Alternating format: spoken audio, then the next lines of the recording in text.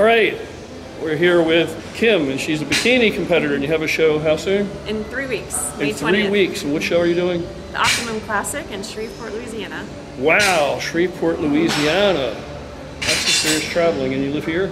I do live here, but I'm originally from Texas, so I'm going to fly home and drive to Shreveport with my mom. She's going to be there to support me. Cool. Well, good luck. Thank you Um, very much. Can you tell us a little bit about your training? What do you do? I see you deadlifting. I am deadlifting, yes. Um, I try to do legs uh, twice a week. At, at this point, still trying to maintain a heavy weight just to keep muscle on. I'm have a hard time putting on muscle and maintaining it.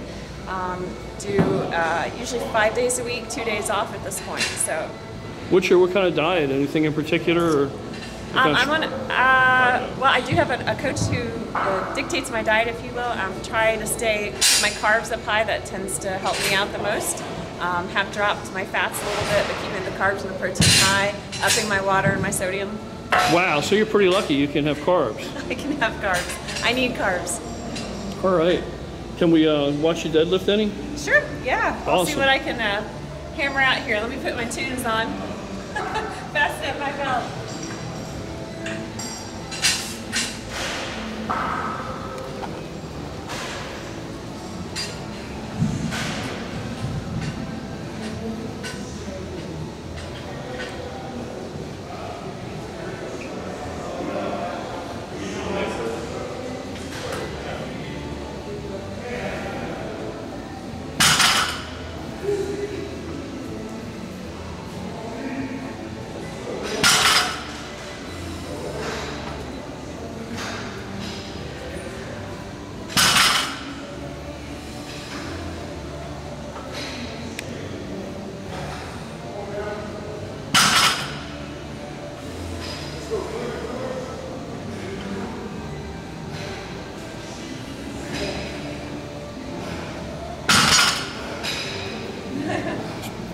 Pretty good. It's pretty impressive. So how much? Do, how many uh, sets and reps do you typically do with this? Um, anywhere between three and five sets. My reps will vary depending on the week and on the weight. Um, I'll do as few as three reps and as many as 15. So, So do you go heavier than this, or is this pretty much your heaviest? no, I can go heavier than this, but right now, that's just, I'm gonna stick with that just so I don't injure myself. So how long have you been training? Uh, seriously training, um, only about two years. Wow. But I've been uh, an active person most of my life. Um, was a runner for many, many years. And uh, I guess after I had kids, I felt like it was time to step it up a little bit. So I um, got involved in weight training, had someone recommend that I look into the competing side, and I was sold. So how many kids do you have? You I have- mind me asking. I have two, if you don't count my husband. Two plus a husband. And Yep. I know you're not supposed to ask a lady her age, but we have viewers of all ages, and hopefully you will inspire people. Okay, I am 43 years young. Wow. Very encouraging. thank you, thank you. So, yeah, I, I enjoy what I do. It takes a, a lot of dedication, a lot of, uh, a lot of time and consistency, patience, um, but it's it's worthwhile and I enjoy it. And I've seen a lot of changes um, physically and mentally. So it's been um, it's been an interesting journey and a very a positive one. So All right. Well, that's awesome. Well, when you come back, maybe you'll um, post something up on our Facebook. I would love Gorilla to. with a Cause on Facebook. When you go and compete, just share your adventure with us a little bit. That would be really good. Absolutely, you guys will be my first stop. All right. I'm sure our viewership would appreciate it. Thank you very All much right. for talking to us, and good luck. Thank you very much.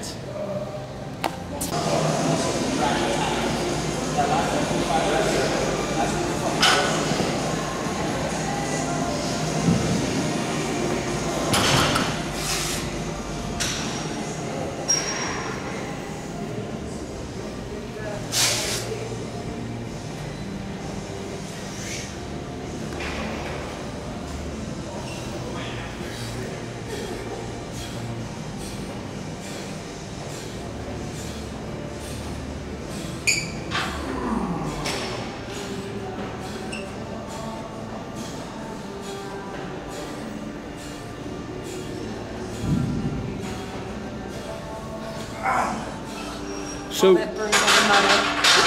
so what are you working on here? Uh, these are famous by Bret from Bret Contreras, the glute guys, they call them. These are called, um, there's glute bridges or hip thrusts. Um, these work the glutes. So the trick is, I might have to use uh, extra weights to keep my or to get my legs at the right level. But the, the trick is to keep your your feet in close. Um, otherwise, you'll be working your quads more. Keep your feet in close to your glutes, and it works your hamstrings and your um, your glutes really, really well.